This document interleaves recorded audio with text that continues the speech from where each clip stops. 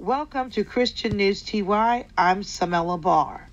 Williamsburg County Sheriff deputies pursued a vehicle outside of Kingstree on Martin Luther King Highway, highway number 377. The pursuit ended on Broomstraw Road outside of Lane when the female lost control of the vehicle. That's all the information we have at this time. Thank you for listening to Christian News TY. I'm Samela Barr.